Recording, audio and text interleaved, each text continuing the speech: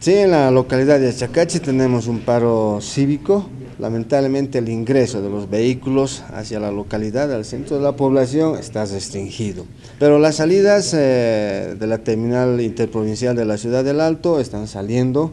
Eh, los pasajeros van a tener que caminar un tramo, de un kilómetro aproximadamente para llegar a la población. En la población tenemos lamentablemente todos los vehículos de servicio público también han cortado todos los accesos en lo que se refiere a la localidad de Achacachi.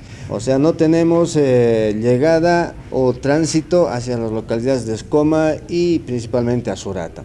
Mientras a las otras poblaciones, estamos hablando de Tiquina, Copacabana, Puerto Pérez, eh, el acceso es completamente normal y a las otras poblaciones antes de llegar a la ciudad de Achacachi, la circulación es completamente normal. Por lo tanto, los pasajeros que quieran dirigirse los vehículos hacia la localidad de Achacachi deben tomar sus previsiones, no existe acceso hacia la ciudad o la población de aquella localidad.